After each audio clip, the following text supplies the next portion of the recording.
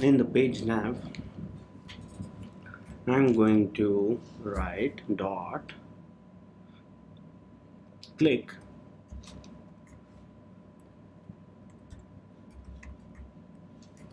I'm going to make a function.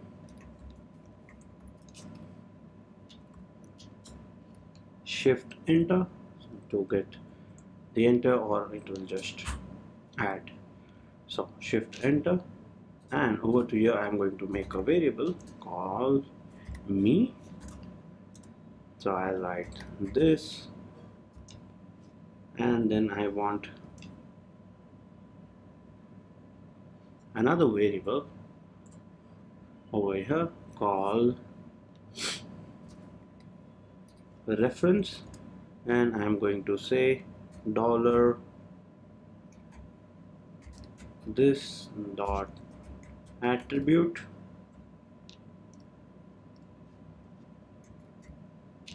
Reference like this. Then I will say um, dollar this particular thing dollar dot this dollar this dot add class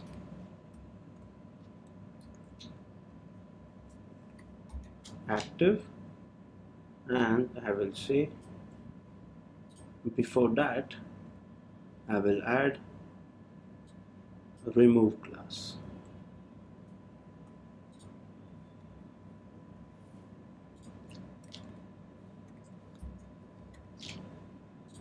Okay. And I will just uh, comment over here a simple comment and I will write if my reference is equal to or I can say if reference is equal to let's say page 1 then show else hide. So this is what we are going to write this is the next logic.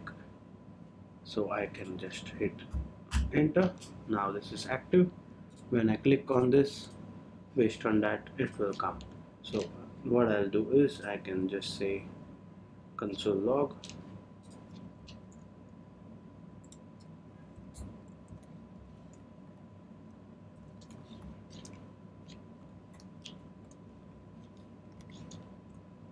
Me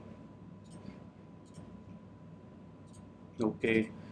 Okay. This is not working because there is no jQuery uh, added into my project. So what I'll do is I can go to J jQuery CDN or I can go to W3 over here you will have the option. So just try now this link. Just copy this link.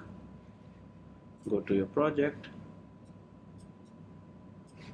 and add this link. So you can remove uh, bootstrap bundle from here. Just add the java jquery file because we are not going to use the bootstrap js now add this. Now as you can see it's active. Now when I click you will get.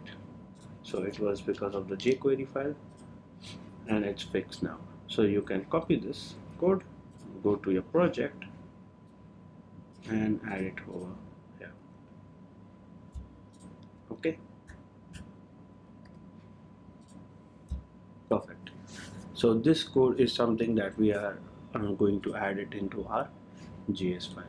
So as I said, I created a reference uh, attribute called reference.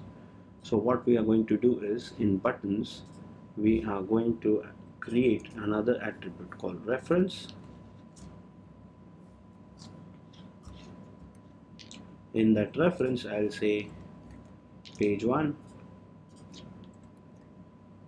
page 2, and I will save so if page 1 I will copy this then I want to show uh, you know I want to show these particular uh, rows. So charts for let's say page 1 I will copy the whole thing.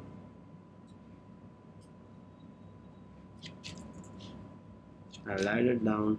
I will say charts for page 2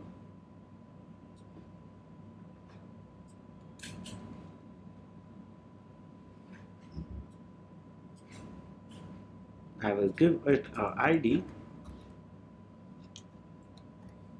page 1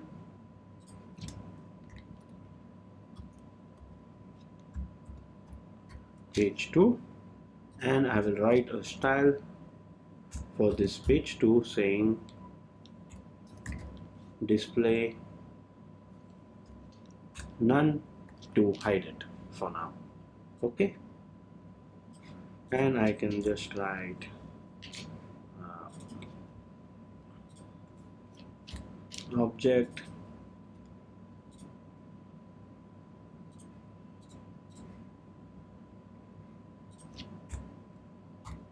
object object object instead of this I'll say logo refresh let's say I'll say buttons I'll say buttons.